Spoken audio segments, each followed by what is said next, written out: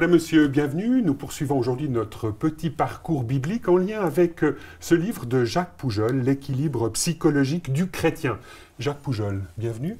Bonjour. Alors, vous avez publié, euh, osons le terme, osons le dire de manière claire, ce livre il y a de cela plus d'une trentaine d'années. Déjà, oui. Déjà, il a connu un, un grand succès. Et ce qui est intéressant, c'est que nous pouvons euh, parler un peu de, de, cet équilibre psychologique du chrétien, et notamment aujourd'hui du thème de la guérison intérieure. Alors concrètement, est-ce que c'est euh, une démarche que tout chrétien devrait envisager? Je pense non seulement tout chrétien, mais tout être humain a besoin de, de se construire et des fois de rectifier un petit peu les choses qui sont mal parties dans la vie. Quoi.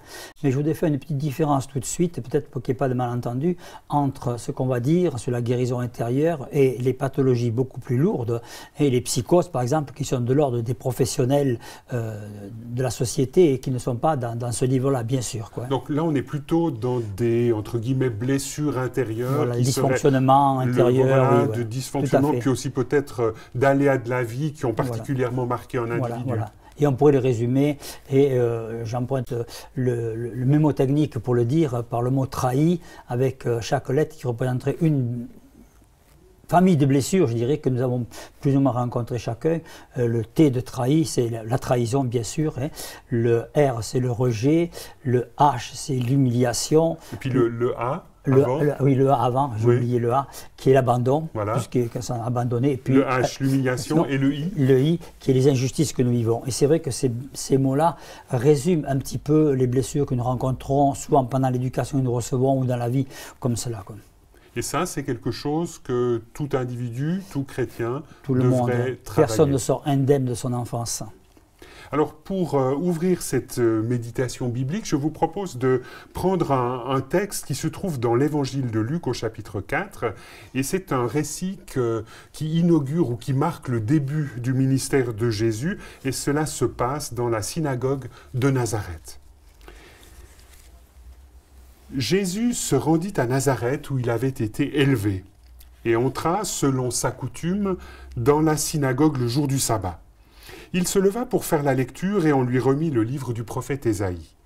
Il ouvrit le livre et trouva le passage où il était écrit L'Esprit du Seigneur est sur moi, parce qu'il m'a oint, pour guérir ceux qui ont le cœur brisé, pour annoncer la bonne nouvelle aux pauvres. Il m'a envoyé pour proclamer aux captifs la délivrance et aux aveugles le recouvrement de la vue, pour renvoyer libres les opprimés, pour proclamer une année de grâce du Seigneur. Alors, Jacques Poujol, Jésus, au début de son ministère, affirme qu'il vient libérer les cœurs brisés, délivrer les captifs. En fait, de quelle prison intérieure le Christ vient-il nous libérer?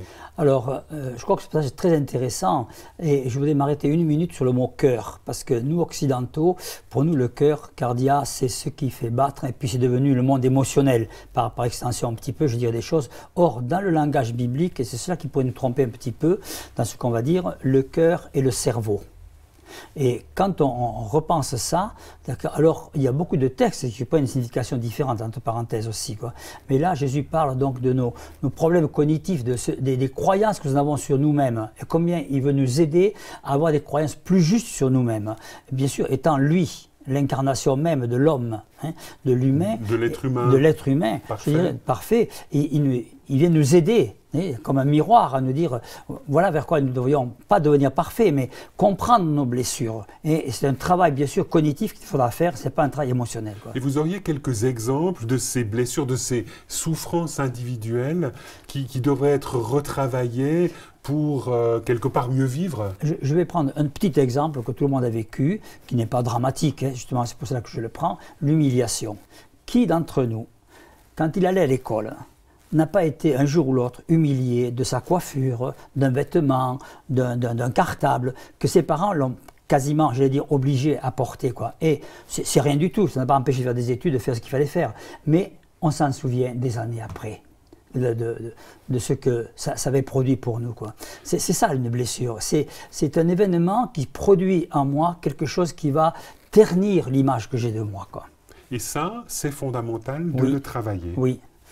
Alors, euh, j'entends de manière un petit peu concrète, comment mm. est-ce qu'on se met à travailler sur euh, ces blessures qui nous marquent? Ben Parce qu'on comprend les dysfonctionnements qui nous posent problème, qui ne nous permettent pas d'être nous-mêmes. Nous sentons bien au fond de nous-mêmes que nous n'arrivons pas à nous réaliser tels que nous devrions être dans nos capacités, dans nos dons, dans nos, dans nos compétences, comme dans nos, dans nos affections aussi. aussi. Et, et là, nous nous rendons compte qu'il y a des problèmes qui nous, comme des petits barrages ou des gros barrages qui nous empêchent de devenir nous-mêmes. Et quel euh, lien avec le Christ, quel rôle le Christ vient jouer dans cette dynamique thérapeutique? Alors, premier rôle, c'est qu'il, je à l'heure, il nous donne hein, l'espoir, je dirais, de pouvoir reconstruire cela pour nous, quoi. Euh, retrouver ce qui nous a été volé par euh, l'éducation ou, d'autres choses comme cela. Et, je pense qu'il nous permet aussi de nous, de nous donner à l'intérieur de nous hein, cette assurance que nous sommes sur le bon chemin que c'est comme cela que nous, allons nous épanouir, que c'est comme cela que nous allons nous construire, que nous allons donner notre place dans la société. Quoi. Alors, le Christ joue un rôle central dans cette démarche et dans le cadre de votre petit livre L'équilibre psychologique du chrétien, vous, vous reprenez euh, dans un premier temps euh, la question des complexes, qui serait peut-être l'endroit euh, le, plus facile, dans un premier temps en tout cas, à mm. travailler en lien avec le Christ. Alors, concrètement, expliquez-nous qu'est-ce que vous entendez par complexe? En tout cas, le plus visible, je dirais. Hein. Eh bien, voilà, c'est l'expression de ces blessures que j'ai parlé tout à l'heure. Hein. Et on sait tous qu'il y a le, le si on reprend l'exemple concret là, du, de, l'expérience enfantine à l'école, du cartable, on a été humilié. Mm. Euh, Alors, ça peut, ça peut nous, il faut d'autres choses, bien sûr, que celle-là, mais donner un complexe d'infériorité, par exemple. Eh bien, je, ne peux pas grandir, euh, m'épanouir avec un complexe d'infériorité. C'est pas comme cela que j'ai été prévu, je dirais, et d'être. Et ça va me permettre d'avoir le droit de retrouver ce qui m'a été volé, en quelque part, quoi. D'accord? Et si c'est Dieu lui-même qui me donne ce droit, alors personne ne peut me l'empêcher de le retrouver. Quoi. Et je crois que le Seigneur nous donne ce droit de devenir nous-mêmes. Donc ça, c'est effectivement le, premier complexe hein, que vous mettez en avant dans votre livre. Le deuxième, c'est euh, celui qui euh, vise tout particulièrement euh, le complexe de supériorité. Alors, concrètement, qu'est-ce que ça signifie? qui est, qui est une compensation du premier, je dirais. D'accord C'est parce que je ne voulais pas être dans un complexe d'infériorité que j'ai choisi d'être dans un complexe de supériorité. Mais en fait, derrière cela, il y a aussi des blessures, comme on a dit, et je crois encore une fois qu'il s'agit de retrouver pour nous, avec cette, vérité que nous donne le Seigneur, cette cohérence qu'il nous donne, de, retrouver le droit hein, de ne pas souffrir de cela. Là, vous citez un, exemple biblique, vous parlez de, la personne de Joseph. Oui. Et c'est vrai que les débuts, en tout cas de la vie de Joseph, témoignent d'un certain euh, complexe de supériorité. Il ne se prenait pas, le brave Joseph, pour la queue de la poire dans la famille. Non, non, mais il va le payer très cher d'ailleurs. Hein.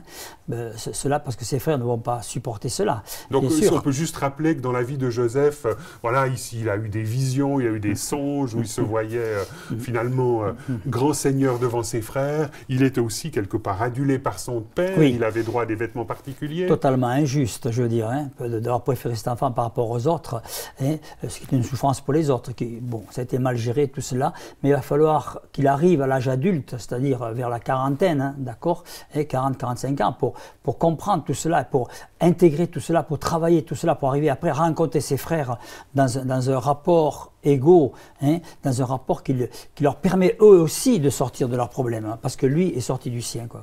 Le troisième complexe dont vous parlez, c'est celui d'abandon. Hmm. Alors, en deux mots, très important celui-là, très important parce qu'il est peut-être premier. Quoi. C'est quand, quand on n'a pas été secouru par nos parents quand on était petit dans, une, dans un problème d'un autre, des problèmes plus graves. Et moi, je suis toujours frappé parce que dit, parce que dit Jésus, quoi. Hein, euh, je ne t'abandonnerai pas, où que tu sois. Je serai toujours présent. C'est l'histoire du fils prodigue, hein, qui, qui, loin de la maison, le père est présent. Et je crois que ce sentiment d'abandon est terrible parce qu'on on se sent coupé de la vie, coupé du monde, coupé de sa, de sa trajectoire personnelle, je dirais. Et là, formidable que Seigneur puisse nous dire où que tu sois, je serai avec toi. Et ce qui nous manque souvent dans ce problème-là, c'est cette voix intérieure d'un père qui nous dit je serai avec toi, où que tu as, je serai avec toi. Quand vous parlez là d'abandon, c'est aussi la dynamique, bien entendu, du rejet? Oui, du rejet, bien on, sûr. on est très rejet, proche. abandon, ça, ça, ça se rejoint, oui. Alors, vous, vous avez esquissé déjà quelques pistes, entre guillemets, thérapeutiques pour, pour guérir euh, de, de ces complexes. Euh, finalement, euh, c'est vraiment important, euh, lorsqu'on prend conscience de ces complexes, de refonder notre identité dans la personne de Dieu. Ben, C'est-à-dire qu'elle reste pour non seulement le, le, le, le- le modèle, je dirais, mais elle nous donne, le Seigneur nous donne cette, cette énergie, hein, ce droit, et donc cette énergie de la justice qui nous permet de nous mettre en marche pour, pour récupérer tout cela, oui. Et, Concrètement, ça veut dire découvrir, par exemple, Dieu comme son Père? Oui, découvrir Dieu comme son Père, découvrir le Seigneur comme celui qui, qui est notre, qui ne nous abandonnera pas. Si tes parents t'ont abandonné, dit-il, moi je t'abandonnerai pas. D'accord C'est-à-dire qu'il nous amène à, à pouvoir faire le deuil de ce qu'on pas eu pour aller vers ce qui va nous donner de, la guérison, de devenir nous-mêmes vraiment, trouver notre place qui est vraiment la nôtre. Donc, et à la suite de Jésus, découvrir aussi non seulement Dieu comme Père, mais aussi comme euh, là-bas, comme euh, ce, Papa céleste. Oui, alors ça c'est le problème de, dire, la révélation de Dieu qui est à la fois père et mère pour nous. Hein, puisque quand il parle des émotions, il parle, on ne traduit pas dans les textes, c'est pas possible, de l'utérus de Dieu qui est, qui est, qui est sensible. Donc j'ai besoin à la fois de cette voix du Père en moi et la voix de la, et cette, cette compassion, ça veut dire même, c'est pas le mot, mais cette, cette euh, relation vraiment euh, intime que donne la mère aussi. Donc j'ai besoin de ces deux choses pour me construire. Et je trouve ça dans le Seigneur. hein. C'est- l'Esprit de Dieu et celui qui vient nous parler un petit peu comme une mère. Et, Jésus est aussi ce, ce Père qui nous, qui nous accompagne aussi. Quoi. Alors, lorsqu'on prend conscience de, cette identité que le chrétien a en Dieu, euh, concrètement, expliquez-nous, qu'est-ce que, qu'est-ce que ça change? Alors, on trouve, je veux dire, sa place dans la société. Je dirais, on, commence, et ça c'est c'est l'identité même qui est là, je dirais, on commence à pouvoir écrire son histoire personnelle dans l'histoire des hommes et trouver sa place dans le grand livre de l'humanité, dans la tapisserie que Dieu tisse. Et je sais que j'ai une place à un moment donné à remplir, à être moi-même. Et trouver son identité, euh, reprendre son identité, c'est trouver sa vraie place dans cette histoire de l'humanité. C'est extraordinaire. Jacques Poujol, euh, dans cette euh, émission Vitamine B, on aime toujours bien euh, parler un peu de choses plus personnelles. Personnellement, qu'est-ce que cela vous apporte et vous a apporté dans votre vie de, de refonder, par rapport à vos blessures, votre identité dans la personne de Dieu, dans la personne de Jésus? Bien, ce que je viens de dire, je crois, c'est que ça m'a permis de comprendre mes dons, mes capacités. Tout le monde a des dons et des capacités, d'accord Mais de les comprendre et de les, de les, de les, de les chérir, j'allais dire, de les travailler pour pouvoir être ce que moi je devais être, le petit fil qui apparaît à un moment donné dans l'histoire de l'humanité, comme chacun apparaîtra. Et je, je crois que ça m'a vraiment aidé à ça, quoi. Est-ce que vous auriez euh, un exemple concret d'un d'un complexe, par exemple, dont vraiment euh, euh, le Christ vous aurait guéri? Alors, des complexes, on On en le a tous. surnnose, hein, Oui, vous posez oui, une telle les- question, les mais complexes, on en vous a avez tous. un, voilà, c'est ça, mais vous avez un âge où on peut On peut se permettre. tout dire. oui, moi je suis un, un petit peu le complexe d'infériorité peut-être. Et, et puis, puis là, euh, ça, oui. vous, vous comment est-ce que concrètement vous avez travaillé cela? Vous- Je, je me rappelle très bien le jour où j'ai compris ça. hein. Tu ne t'occupes pas de choses trop élevées pour toi. Ça a été pour moi. Donc dé- ça, c'est une parole que Oui. quelque part Oui. le Christ a fait résonner en oui, vous-même. oui, et je me rappelle très bien de ça. Et c'était pour moi, au départ, quelque chose de très important. quoi. Et qu'est-ce que ça a changé dans votre Ça a changé vie? que j'ai le droit de dire ce que je dis et de faire ce que je fais, même si c'est pas parfait, même si c'est pas abouti complètement les choses, mais ça me donne ma place. Je suis à ma bonne place. Et vous remarquerez que dans, dans- dans tout le texte de l'Évangile, c'est toujours un problème de place. L'adversaire nous a déplacés du jardin, ainsi de suite. hein. Euh, hein, le, péché nous déplace et Dieu nous dit il y a une place pour toi. Tu as ta place. Et quand il nous parle du ciel, je dirais, hein, il nous dit j'ai préparé une place. Et si je devais résumer toute, la vie, je dirais c'est toujours un problème de place. Où est ma place? Où on m'a placé? D'où on m'a déplacé? Et comment je peux me replacer dans l'histoire? Jacques Poujol, merci beaucoup euh, d'avoir accepté de répondre à quelques questions en lien avec ce thème de la guérison intérieure et des complexes. Je rappelle que vous êtes l'auteur d'un livre qui s'intitule L'équilibre psychologique du chrétien, paru aux éditions Empreinte Temps Présent. Merci pour euh, cette ouverture aussi un peu personnelle que vous avez risquée. Madame, Monsieur, nous espérons que cette émission vous aura intéressé. Au revoir et à bientôt.